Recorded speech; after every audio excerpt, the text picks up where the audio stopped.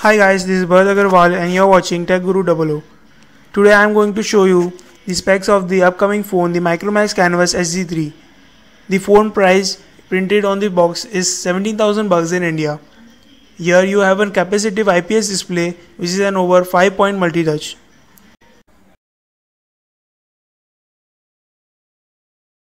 And on the inside we have the 1.2 GHz quad-core Cortex A7 processor.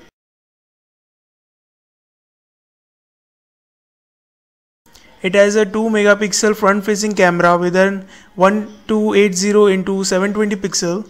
The menu button is at the bottom. On the right side you have the power on off switch and a tab to pull out the back cover. At the top you have a micro USB charging data syncing port along with a 3.5mm headphone jack. On the left side you have the volume rocker. At the bottom there is a small pin hole for the microphone. And on the back, we have the 8 megapixel SD camera with an LED flash and a speakerphone over here.